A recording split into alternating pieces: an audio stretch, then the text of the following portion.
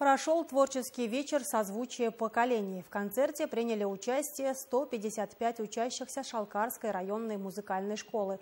Мероприятие началось со спектакля, рассказывающего историю образовательного заведения. Оркестр народных инструментов, состоящий из преподавателей, выступил на сцене совместно с аналогичным коллективом областной филармонии. На встрече присутствовали преподаватели класса традиционной песни. Отметим также, что на концерте выступили ученический оркестр «Мурагер», ансамбль «Кербез қыз» и детский хор «Айналайын».